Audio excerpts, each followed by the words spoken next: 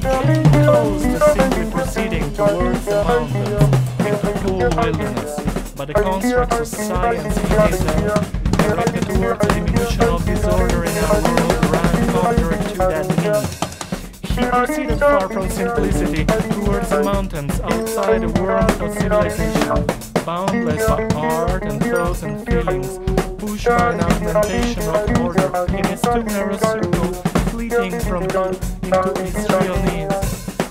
He moved on simply into the mountains, into the open, needless of protection, free of any thought and insensitive, carried away from a swollen society, world, city, or nation, forgetful of any expectation on him. He stayed, paralyzed by complexity, multiple choices in a desolate flatland, captive of himself, and irritable, patient and inflated need of order and knowledge, and truth and science, too aware to feel anything. He went on like in a dance, moving on a straight line, powerful and predatorial and self-assured by calm, and independence from any form of chaos and dizziness, almost in a state of trance. He stopped like a statue, nowhere to look, lost, weak and wounded, rooted, insecure by tremors and nostalgia and longing and imprisonment into order that forced him into being a wolf.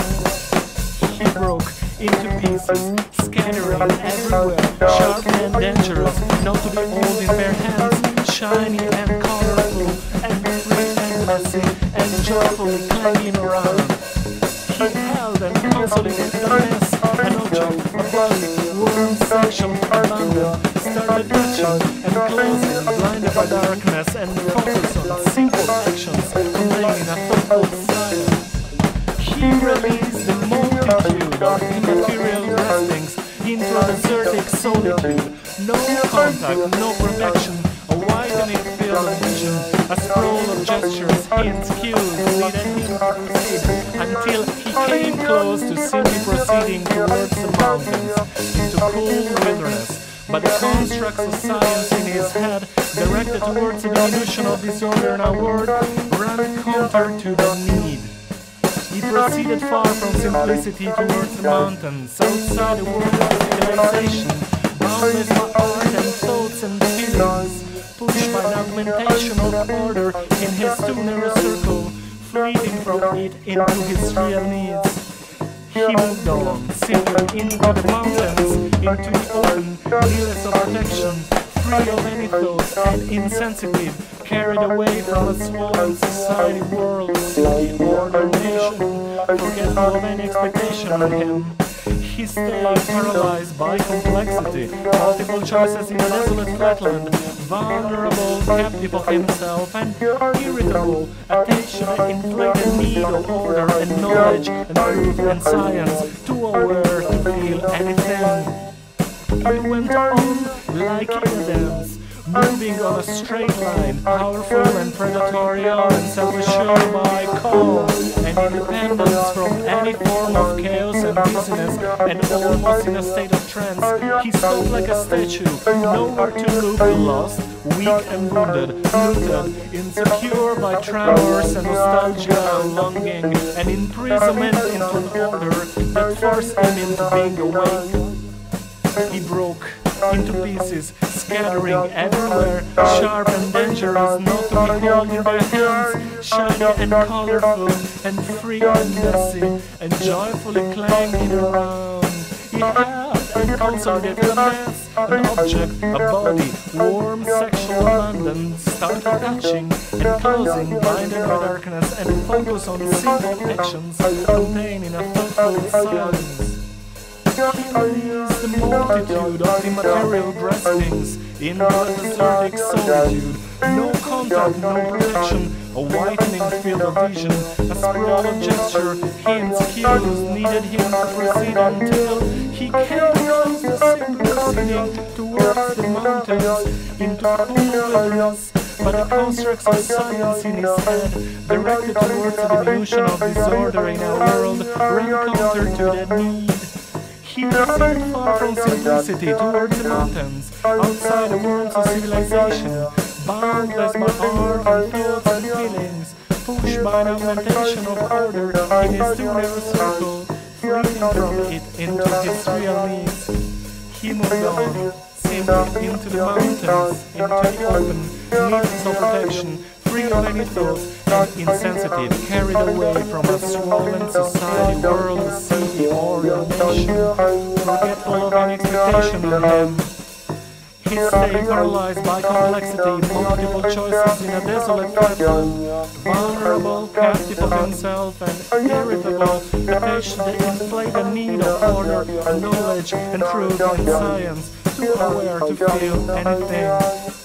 He went on like in a dance, moving in a straight line, powerful and predatorial and self-assured by calm independence from any form of chaos and dizziness and almost in a state of trance. He stopped like a statue, nowhere to look lost, weak and wounded, looted, insecure by tremors and nostalgia and longing and imprisonment in the order that forced him into being awake.